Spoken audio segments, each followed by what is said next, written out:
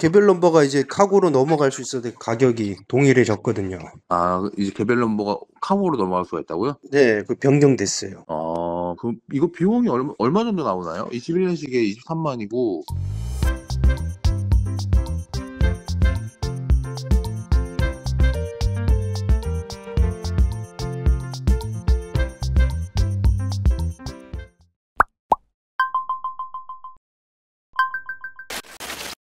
네, 여보세요? 네, 디젤 트럭입니다. 아, 네, 안녕하세요. 네, 그 문자 남겨주신 거 보고 아 방금 전화하셨죠? 네네네. self loader 그거 네, 정리하시려고요? 네네. 그것도 개별 넘버예요? 네네, 개별 넘버예요. 음, 개별 넘버가 이제 카고로 넘어갈 수 있어도 가격이 동일해졌거든요.